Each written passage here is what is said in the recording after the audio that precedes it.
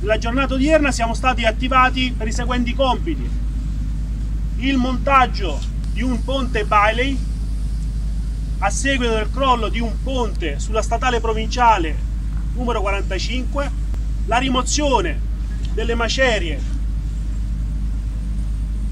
del ponte, abbiamo richiesto il supporto di una colonna logistica del reggimento logistico che affluirà nella zona dell'accampamento che l'ANA sta realizzando assieme al personale del reggimento Genio Guastatori.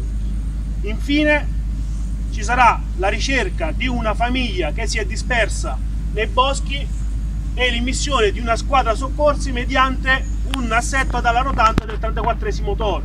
La collaborazione riguarda tanto non solo il soccorso in montagna ma l'intervento in caso di calamità e entriamo in, in gioco nel momento in cui c'è una necessità o una calamità. Qui sono state simulate tre, due calamità diverse, sia un, un evento legato al terremoto che un evento alluvionale e lo scopo è proprio, proprio quello di collegare l'esercito insieme all'attività di volontariato dell'Associazione Nazionale con dei numeri importanti e con il supporto che viene dato già normalmente, ma questo, questa esercitazione servirà proprio per integrare e eh, implementare quelle che sono le sinergie operative del momento in pratica. E quindi qui vediamo un teatro operativo, ma abbiamo visto le sale operative che servono da collegamento e servono da comunicazione quindi qui troverete persone diverse ma che riescono a ottenere insieme grazie a una collaborazione un risultato importante che serve come diceva giustamente il comandante alla società. Cioè lo scopo sia dei volontari che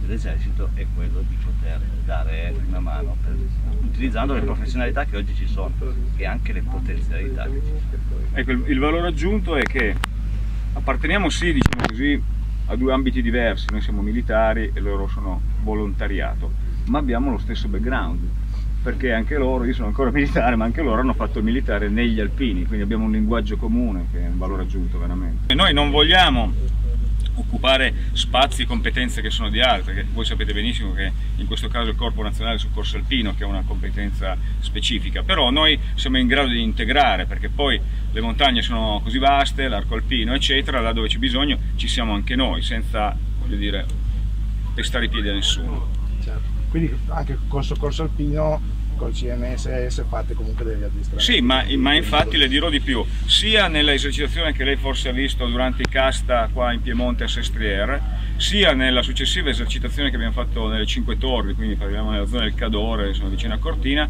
abbiamo lavorato insieme a squadre del Corpo Nazionale Soccorso Alpino, anche alla squadra della Guardia di Finanza e dei Carabinieri. Erano tutti presenti, noi vogliamo solo fare sinergia, noi siamo un assetto a disposizione del Paese, ci siamo, lavoriamo insieme con tutti gli altri. Bye.